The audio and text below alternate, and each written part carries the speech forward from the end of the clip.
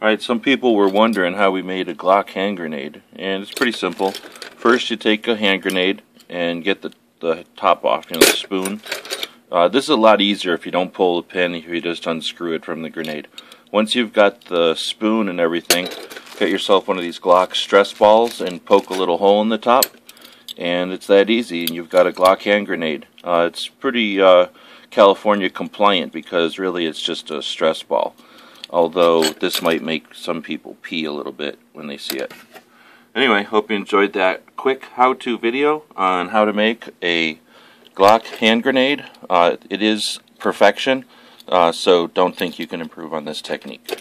Uh, also, it is polymer, so it's basically child-friendly. Alright, and uh, again, hand grenade, take off the spoon, shove it in a stress ball, and yes, I'm trying to make this one minute long.